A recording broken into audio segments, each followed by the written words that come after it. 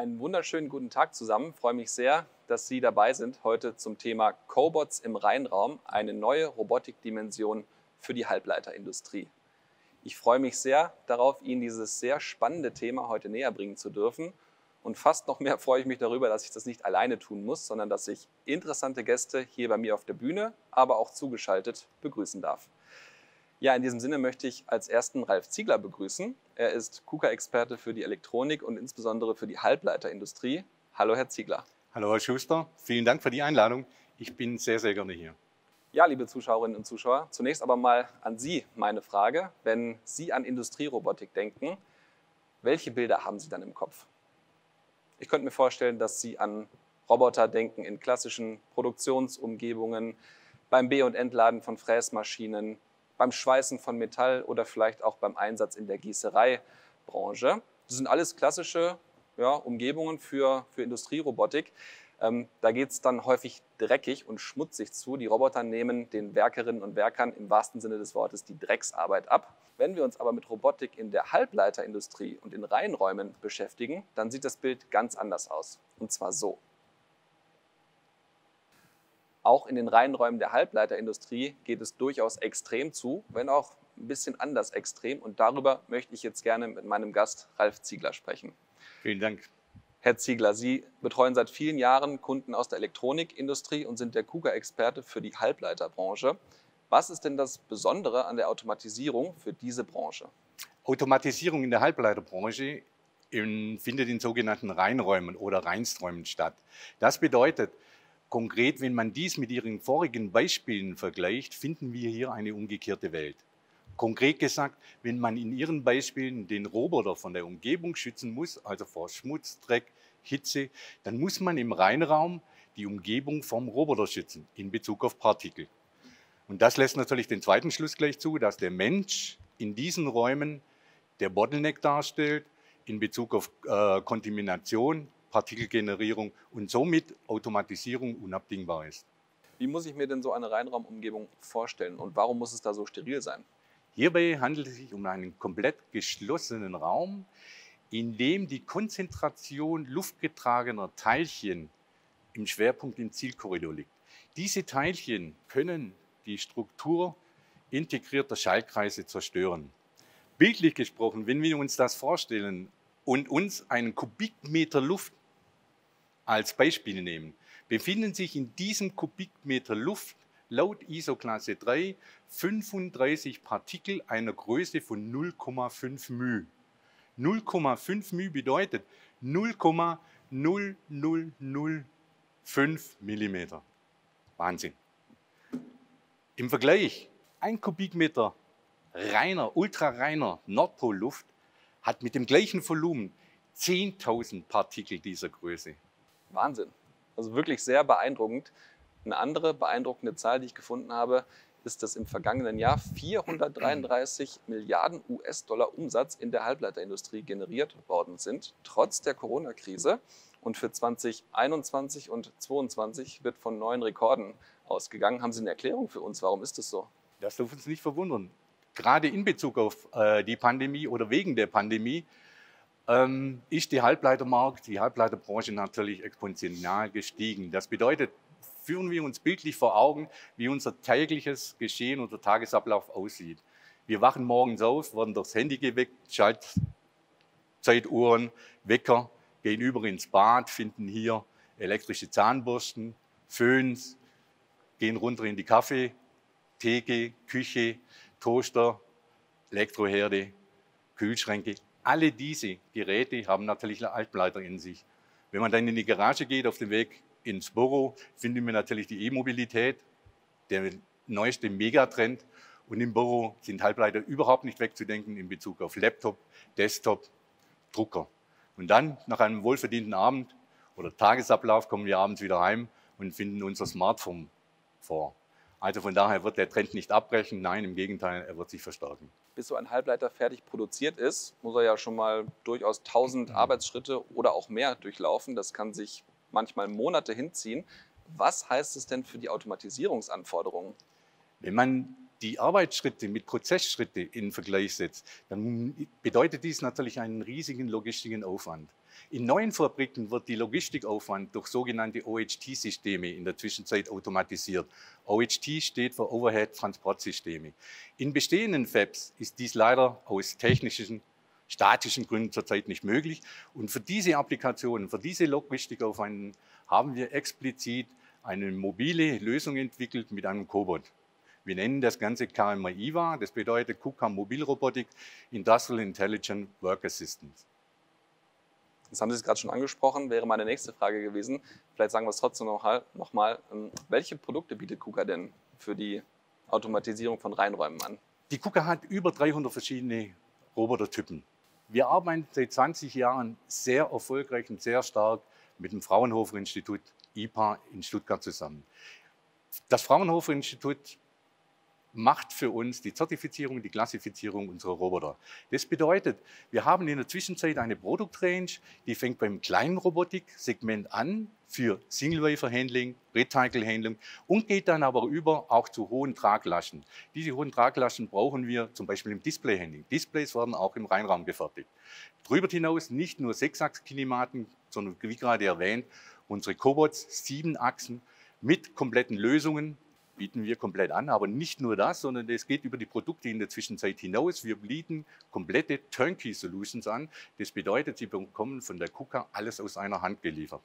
Von der Planung bis zur Integration. Ja, Herr Ziegler, Sie haben es gerade erwähnt, dass KUKA seit vielen Jahren schon mit dem Fraunhofer Institut IPA kooperiert, um Roboter sozusagen reinraumtauglich zu machen.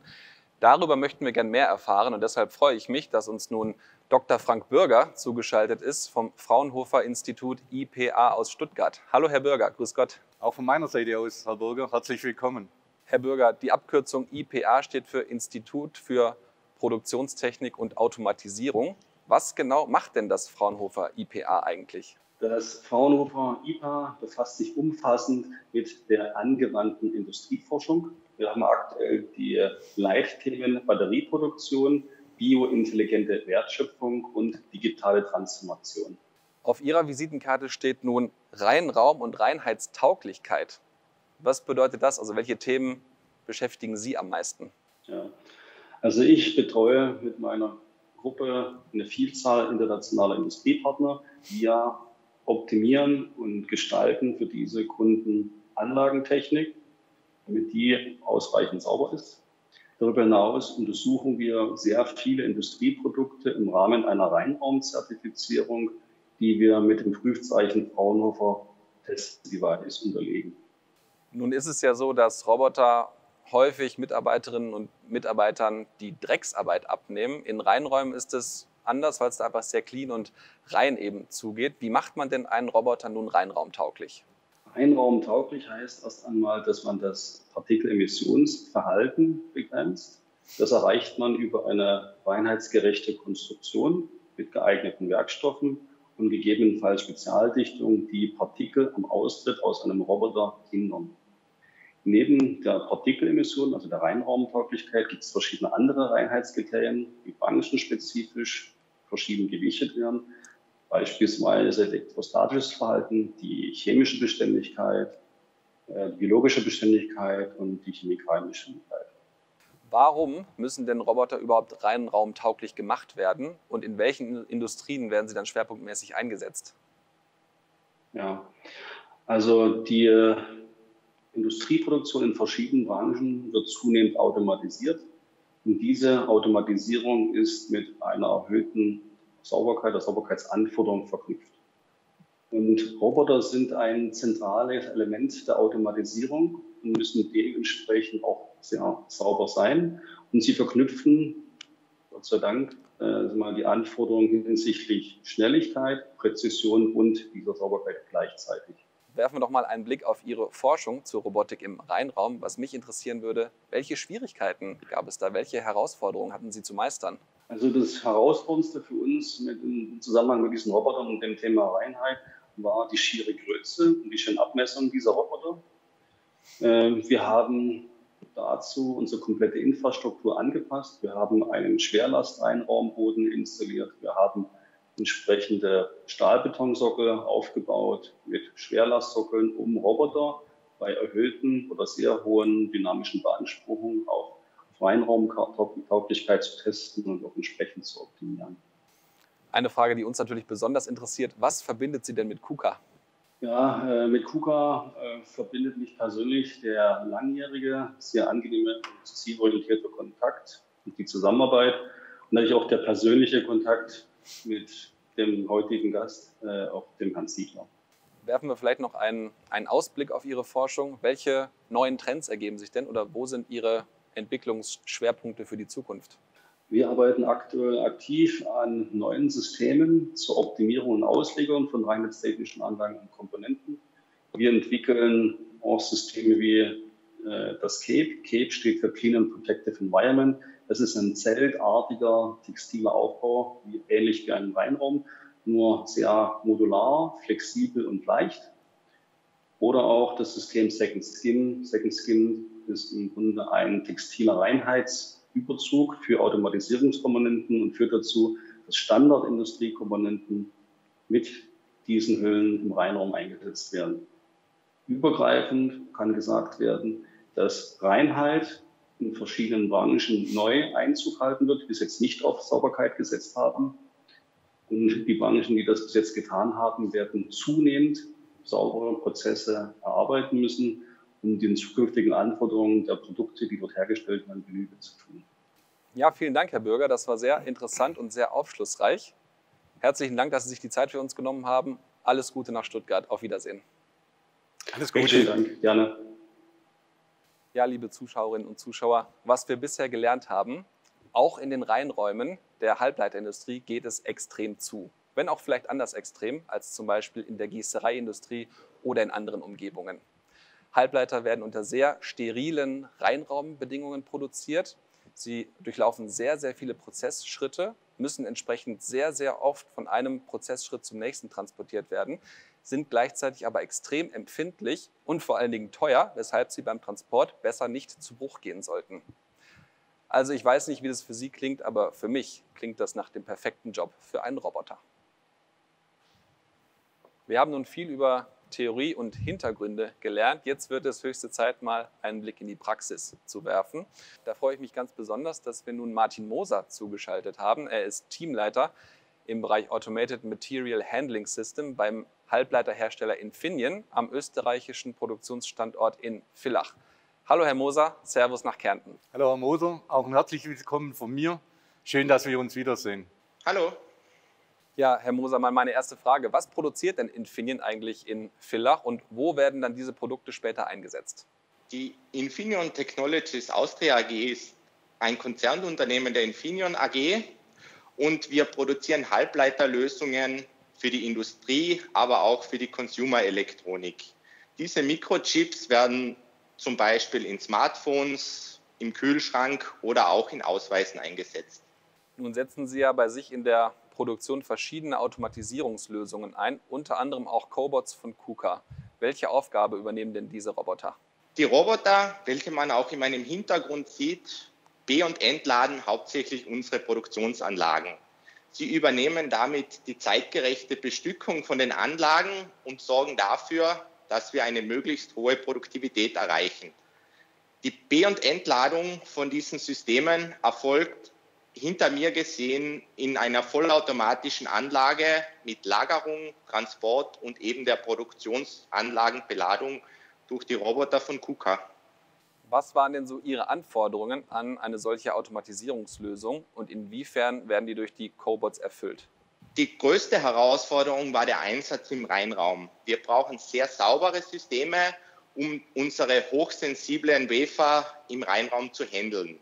Zusätzlich ist uns wichtig, dass wir die Systeme 24-7 einsetzen können und dass wir unser Produkt bestmöglich schützen. Die Roboter von KUKA bieten hierbei die ideale Lösung. Wir haben Roboter der ISO-Klasse 3. Durch die Flexibilität der sieben, siebten Achse können wir Abläufe realisieren, die vorher nicht möglich waren. Und die Sensitivität bietet uns die Möglichkeit, unser Produkt bestmöglich zu schützen. Hier war vor allem auch bei der Zusammenarbeit das Know-how von KUKA ein wichtiger Teil, dass wir das System zu einem stabilen Betrieb gebracht haben. Jetzt haben Sie es gerade selbst schon ein bisschen angesprochen. Ähm, was mich noch interessieren würde, was waren denn so die größten Herausforderungen während der Projektumsetzung und wie wurden die gelöst, beziehungsweise wie konnte KUKA dabei unterstützen? Wir haben bei dem Projekt gemeinsam sehr viel gelernt. Es waren viele Herausforderungen, zum Beispiel der Einsatz im Rheinraum. Hierzu kann ich mich gut erinnern, dass KUKA vor Ort war. Wir haben gemeinsam bei uns im Rheinraum das erste System aufgebaut und mit einfachen Versuchen erste Studien gemacht. KUKA hat das Ganze im LBR dann zur Serienreife gebracht und wir können das System jetzt im Rheinraum einsetzen. Ja, abschließend vielleicht noch die Gretchenfrage. Wie zufrieden sind Sie denn mit, mit uns, mit KUKA, mit unseren Produkten und dem Service? In der Zeit von der Umsetzung oder von der ersten Idee bis zur Umsetzung eines stabilen 24-7-Betriebs gab es sehr viele Herausforderungen. Hier war die Zusammenarbeit mit KUKA sehr wichtig. Ein wichtiger Punkt hierbei war unser zentraler Ansprechpartner Ralf Ziegler, der uns immer zur Seite gestanden ist und die nötigen Verbindungen hergestellt hat. Aktuell laufen die Systeme bei uns im Betrieb sehr gut und wir hoffen, dass das auch für die nächsten Jahre so bleibt und sich weitere Projekte zwischen uns und KUKA ergeben. Ja, darauf hoffen wir natürlich auch, Herr Moser. Äh, würde uns sehr freuen. Vielen herzlichen Dank, dass Sie sich die Zeit für uns heute genommen haben. Das war wirklich sehr spannend, mal einen Blick in die Praxis werfen zu dürfen. Also herzlichen Dank für Ihre Zeit und einen schönen Tag noch. Servus. Sehr gerne. Dankeschön und liebe Grüße zurück. Danke, Herr Moser. Alles Gute. Bis bald. Liebe Zuschauerinnen und Zuschauer, wir sind bereits am Ende unserer Veranstaltung angekommen. Vielen Dank, dass Sie dabei waren. Ich hoffe, es war für Sie genauso spannend und interessant wie für mich. Ich hoffe, dass wir Ihnen einen guten Einblick in die wirklich faszinierende Welt der Halbleiterfertigung geben konnten und Ihnen auch vermitteln konnten, dass KUKA für diesen Bereich der richtige Partner ist. Wenn Sie noch Fragen haben, dann würde ich Ihnen empfehlen, sich an uns bzw. an meinen Kollegen Ralf Ziegler zu wenden, der Ihnen gerne zur Verfügung steht. Sehr, sehr gerne. Vorab nochmal vielen Dank für die Einladung, Herr Schuster. Hat mir riesig Spaß gemacht. Und ein kleiner Hinweis noch vorab. Ähm, detaillierte Informationen zu diesem Thema finden Sie auch bei uns auf der KUKA-Webseite kuka.com. Und ich freue mich von Ihnen zu hören. Vielen Dank. Alles Gute. Ja, vielen Dank, Herr Ziegler. Hat Spaß gemacht. Und ähm, ja, dann bleibt uns nur noch Ade zu sagen. Einen schönen Tag. Servus von KUKA.